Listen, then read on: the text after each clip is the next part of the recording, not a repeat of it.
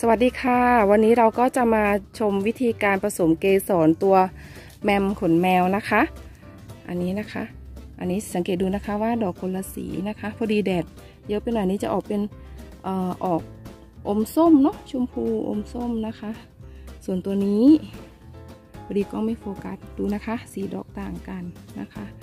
นี่ตัวนี้จะออกบานบานเย็นนะคะ เดี๋ยวจะผสมเกสรนะคะอ่าทำยังไง เอาจะให้ตัวไหนเป็นต้นแม่คะสีนี้ค่ะ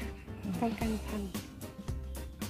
เราต้องการตัวนี้เป็นตัวแม่นะคะเพราะสีดอกมันสีเข้มสวยอันนี้เราเอาเกสรตัวผู้มันก็จะฟุ้งๆนะคะ ก็เอาไปปันปันปัน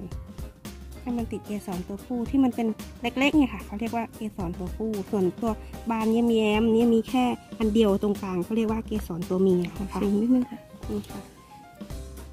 อืมมันต่างกันตรงกลางใหญ่ๆ นั่นคือเกสรตัวเมียส่วนข้างๆนั่นคือเกสรตัวผู้นะคะค่ะเราก็จะปั่นตัวเกสรตัวผู้ให้มันติดคู่กันอ่าติดมาแบบไหนนะ ก็จะมีละอองฟุ้งๆอะค่ะอ่าพอดีกล้องไม่โฟกัอ่าสค่ะ แล้วก็มาปั่นตรงกลางเกสรตัวเมีย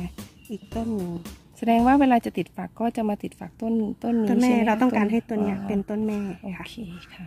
เดี๋ยวเราก็จะมาติดตามตอนต่อไปว่าติดฝักหรือเปล่ามันนะคะติดหรือเปล่าเนาะ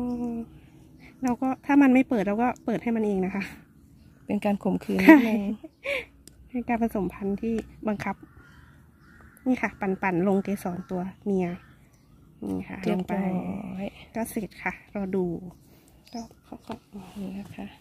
คู่สมรสวันนี้นะคะ สีสวยมากสีสวยมาก นี่ก็จะเป็นโอรสนี่คือโอรสนะคะค่ะ ส่วนนี้ก็คือออกชมพูเข้ม